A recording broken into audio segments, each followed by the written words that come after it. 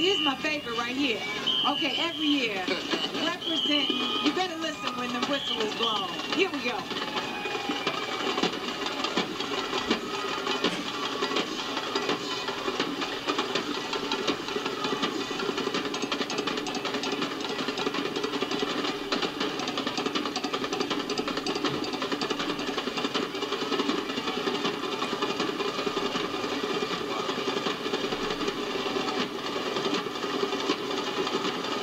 I love the routine.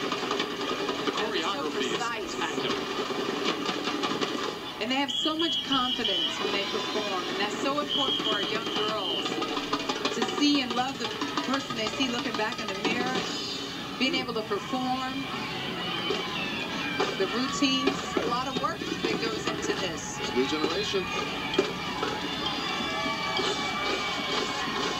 A new generation to be our best generation yet.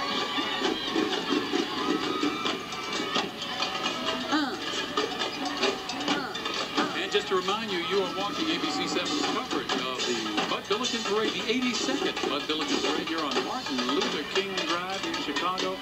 We're going to be on the air with you for about another 28 minutes, but the parade is going to continue on all the way down to Washington Park, where parties and picnics galore take place.